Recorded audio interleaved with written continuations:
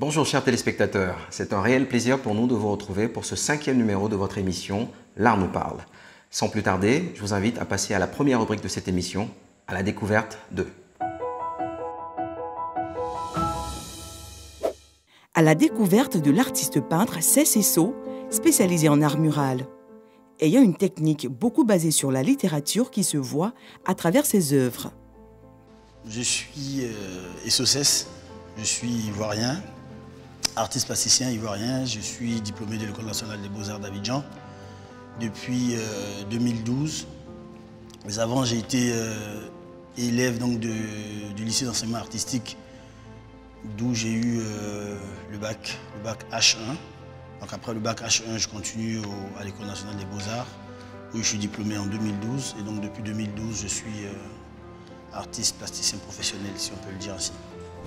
Pour parler de premier pas, donc, euh, il va, sans dire qu'on parle de, la période où on arrive au lycée d'enseignement artistique. Donc, euh, j'ai eu d'abord un parcours classique, comme tout le monde. J'ai fait le, collège.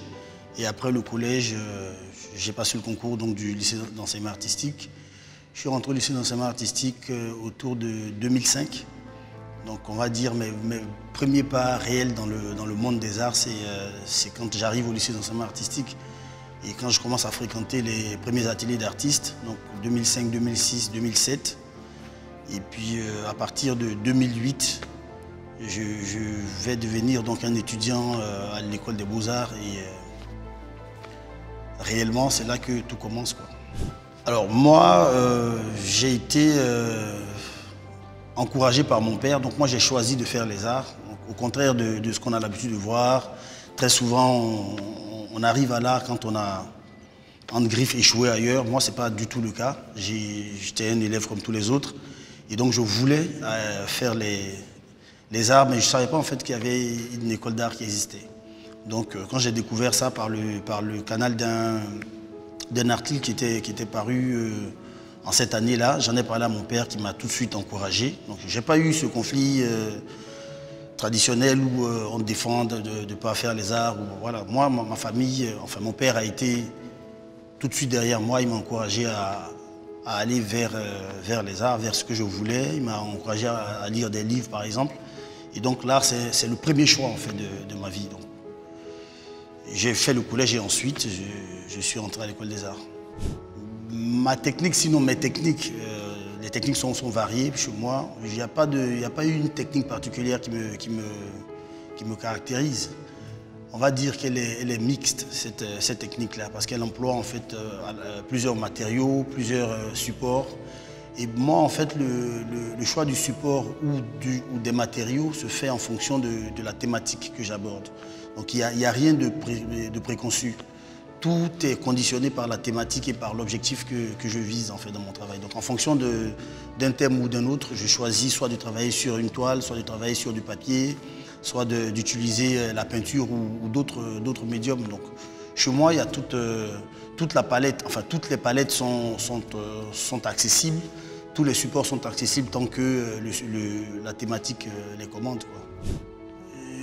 Comme sujet de prédilection, euh, au plus réel, hein, je dirais qu'il y, a avant tout la, question de l'histoire en fait qui m'a toujours passionné. Donc avant même d'étudier en art, j'étais très très passionné d'histoire, je le suis toujours.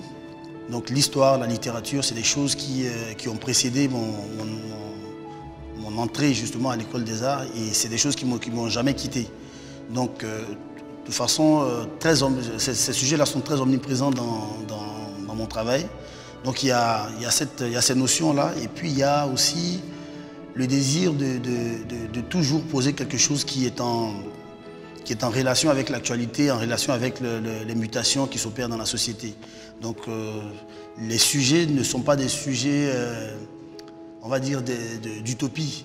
C'est toujours des choses qui, euh, traitent concrètement de, problèmes ou de questions qui sont posées dans la société, mais d'une certaine façon. Donc je veux dire, il y a une façon presque théâtral en fait de, poser des sujets, mais qui sont des sujets réels, qui sont des, faits de société, des problèmes de société. Du point de vue de la qualité de la création, peut-être que je suis euh, mal placé en tant que créateur moi-même, je suis mal placé pour, euh, pour juger de la qualité de ce que les autres font, mais j'estime qu'il y a quand même euh, une sorte d'émulation qui, qui s'opère aujourd'hui autour de, de, certains sujets. Voilà. Donc il y a des sujets euh, qui étaient abordés il y a, a 5-10 ans à l'école des beaux-arts qui ne le sont plus. Donc les gens commencent de plus en plus à, poser les réels problèmes de la, société dans leurs leurs différents travaux. Et de ce côté-là, je pense que c'est quelque chose de positif parce que c'est quelque chose qui doit être au centre de, de, la création, qui doit guider la création. Le fait de toujours poser des, des, des questions qui, euh, enfin, de, susciter quelque chose qui est en rapport avec la société. Donc, je pense que de ce côté-là, les créateurs, les jeunes créateurs commencent à, se réveiller en qualité, commencent à se réveiller en, qualité de, thématique. Après, il y a bien de points euh, qu'il faut euh, revoir. Par exemple, quand, quand je parle de, la formation, je pense qu'il faut qu'il y ait, euh, il faut ramener du contenu dans la formation, du contenu qui, est, actuel, du contenu qui répond aux exigences du moment. Donc il faut peut-être euh, peut-être euh, rajeunir en quelque sorte le, personnel qui enseigne. Il faut ramener des, des, gens plus expérimentés. Il faut ouvrir les écoles de formation aux autodidactes, aux gens qui ont une certaine expérience, pour que ça ne soit pas juste un cercle de de gens qui ont étudié là-bas, que ce soit quelque chose d'ouvert à, tout ce qui est proposé, à tout ce qui est proposé en qualité. Donc, par exemple, moi, je, rêve par exemple d'une école des beaux-arts où, euh, où, les artistes qui font la culture urbaine de Côte d'Ivoire puissent venir faire des masterclass, ou euh, des gens par exemple qui font du coupé décalé, qui ne sont pas forcément des intellectuels, puissent venir justement montrer comment est-ce que, euh, par quel processus ils arrivent à, créer cela.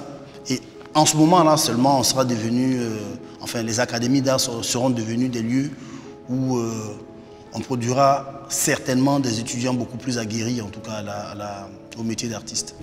Je pense qu'il y, a quelque chose qui est en train d'évoluer et qu'il faut, euh, tenter de comprendre. Par exemple, pourquoi est-ce que les gens, on n'encourageait pas les gens à, aborder des métiers artistiques? Je pense qu'on on peut, par exemple, comparativement au sport, trouver la réponse. Euh, hier, personne ne voulait envoyer son enfant aller jouer au football parce qu'on n'a pas vu, on n'a jamais vu autour de nous des gens qui aient joué au football et qui soient devenus des, modèles de, réussite et des modèles dans la société tout court. Aujourd'hui, ce n'est pas le cas. Aujourd'hui, ça a changé. Pourquoi? Parce qu'aujourd'hui, il y, a des, des gens, il y a des Droba, il y a des académiciens qui ont grandi avec les gens ici et qui sont devenus des exemples concrets de réussite dans la société et dans leur métier. Donc, Bien sûr que c'est en étant nous-mêmes des modèles, en, étant, en réussissant nous-mêmes en fait qu'on suscite des passions. Donc euh, les mots ne suffiront pas pour dire aux jeunes gens, ouais, euh, choisissez de faire l'art. Les jeunes gens ont besoin de voir des artistes qui, euh, qui soient des importants dans la société, qui disent des choses importantes et qui sont pris au sérieux. C'est en, ce moment-là seulement que les plus jeunes voudront faire comme nous. Donc le mot que je, peux adresser, c'est que déjà, les, les, arts plus occuper totalement la place qu'ils que, doivent occuper dans, l'éducation, dans la formation. Peut-être qu'en faisant la promotion de certains modèles dans certains autres secteurs, comme par exemple les arts plastiques, les jeunes gens, forcément, au contact de ceux-là, auront eux-mêmes naturellement envie de faire comme. Donc euh, voilà, il faut promouvoir les talents, il faut donner la chance, la même chance qu'on donne euh, aux gens qui, qui, sont en mathématiques ou aux gens qui font euh, Miss Côte d'Ivoire, qu'on donne la même chance aux gens qui ont des talents artistiques et qu'on puisse les positionner aussi justement dans la société comme étant des modèles. Après cette découverte, place maintenant à la compétition Mon super talent artistique.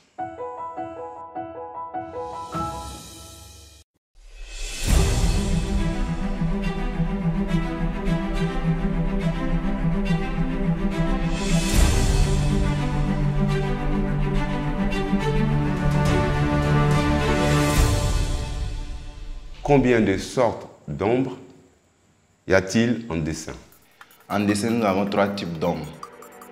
Donc, on peut citer l'ombre portée, l'ombre autoportée et l'ombre propre. Les Grapholies étaient la première biennale de bande dessinée d'Abidjan. Vrai ou faux?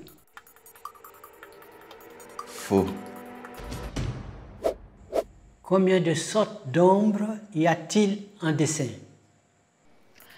En dessin, nous avons deux sortes d'ombres. L'ombre portée et l'ombre... Euh,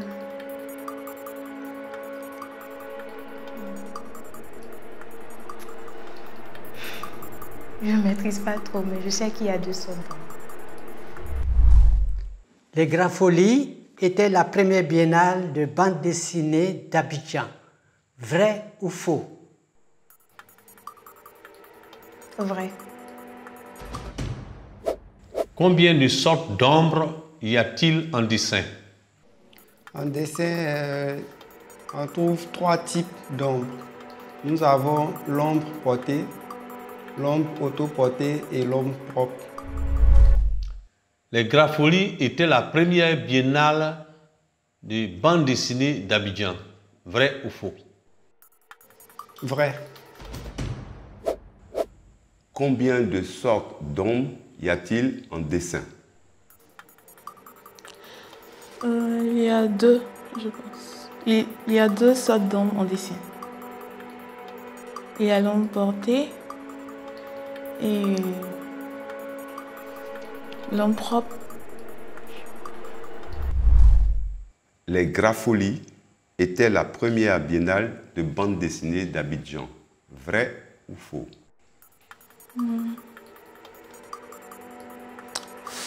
Faux. Combien de sortes d'ombres y a-t-il en dessin? En dessin, il y a trois types d'ombres. Il y a l'ombre portée, l'ombre propre, l'ombre autoportée.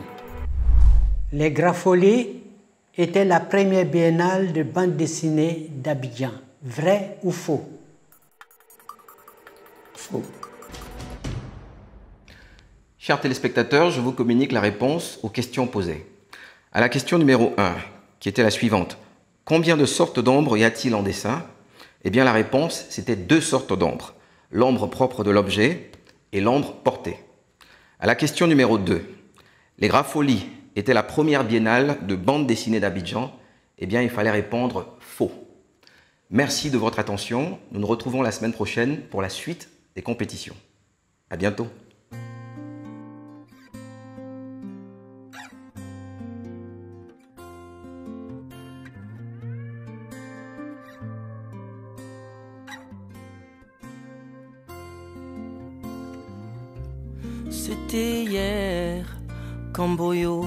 Sur les pirogues.